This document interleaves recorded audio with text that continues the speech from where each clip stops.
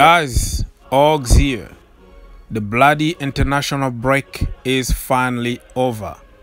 Jorginho and the Italy national team are qualified for Euro 2020. And after that, Jorginho went personally to talk to the Pope. And I hope he talked to the Pope about our injury situation. We need a lot of prayer for this team.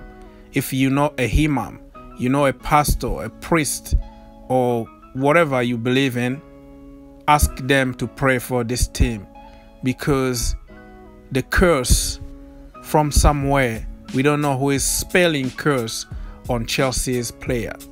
But you know what? We are going to come stronger and better out of this.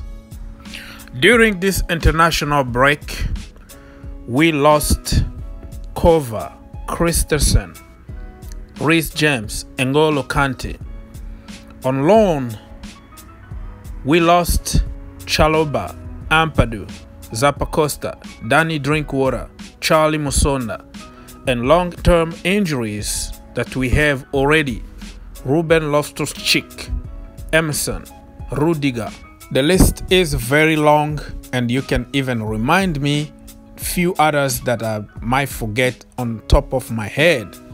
Not only from the international break, but in general, Chelsea been very unlucky this season.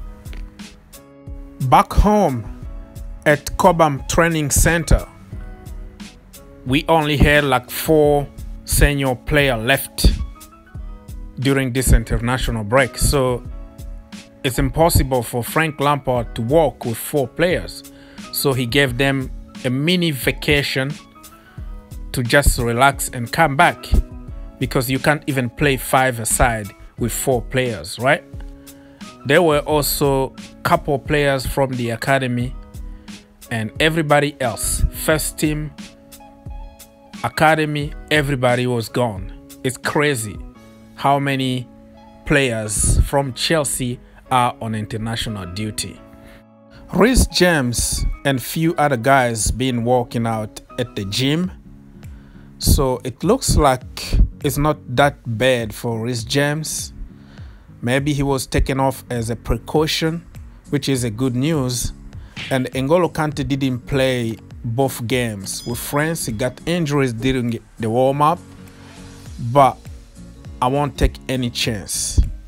If they still feel something, I will give them as much time as needed for them to recover 100% because we need them against Ajax and other uh, games in the future so we can just try to cope with uh, the game against uh, Newcastle on Saturday.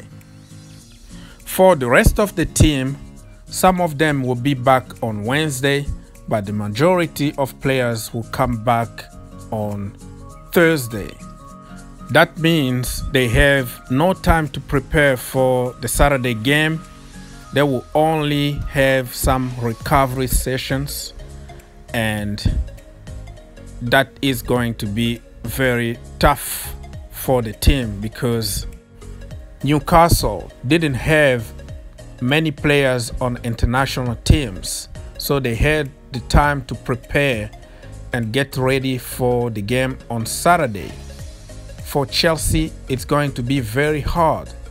Jet lags, fatigue, and injuries.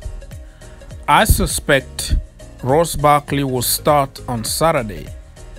That's how bad it is at Chelsea Football Club at the moment. Newcastle they are coming to the bridge to try to do the Spurs. Remember, they won against the Spurs and also beat Man United. So they will try to keep the momentum and try to win at the bridge. Anyways, more news to come in the following hours. But until then, stay cool, just like N'Golo Kante, and always think outside the box.